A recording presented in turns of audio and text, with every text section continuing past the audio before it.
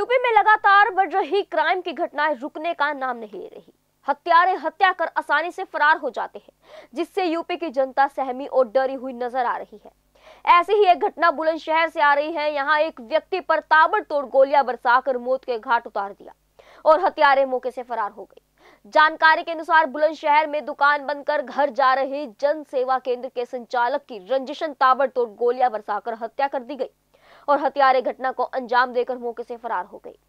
ये तस्वीर है बुलंदशहर के खुर्जा में रहने वाले युवक मोहम्मद साद की, जिसके शरीर पर लगे आठ गोलियों के निशान इस बात की गवाही दे रहे हैं कि खुर्जा में ताबड़तोड़ गोलियाँ बरसाकर किस तरह से हत्यारों ने हत्या की वारदात को अंजाम दिया है।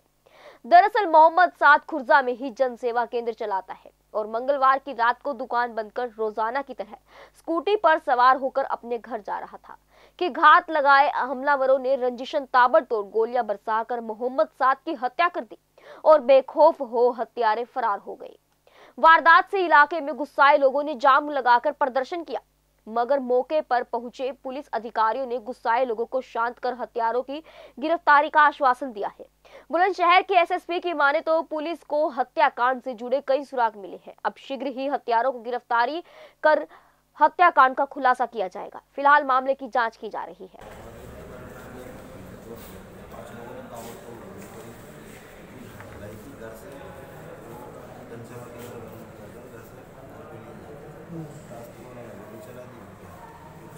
क्या कारण रहा जो घटना कब की है कितने लोग थे उसका पता चला पाँच लोग थे। गोलियाँ चलाई। और पुलिस को शिकायत वगैरह किया पुलिस की में मैंने तहरीर दे दी। तीन लोगों के नाम दर्ज किए दो कहाँ कहाँ गोली लगी उनकी? गोली उनके आगे लगी है तीन चार गोली लगी बाकी कुछ गाड़ी में उनके सामने से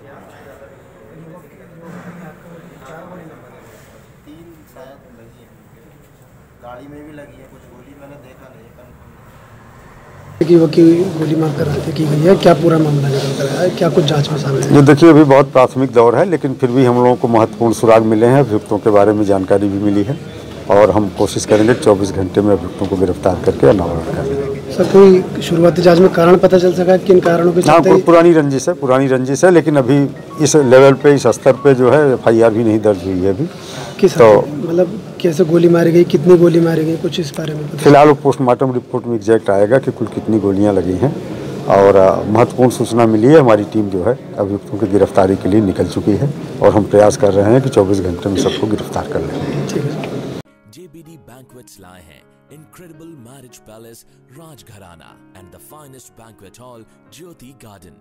World class catering, centrally air conditioned, lush green lawns, state of the art lighting. A perfect venue for wedding, launching and parties. Rajgharana and Jyoti Garden at JBD Banquets Enterprise. ऐसे ही लेटेस्ट खबरें पाने के लिए bell icon को click कर हमारे channel को like share and subscribe करें धन्यवाद।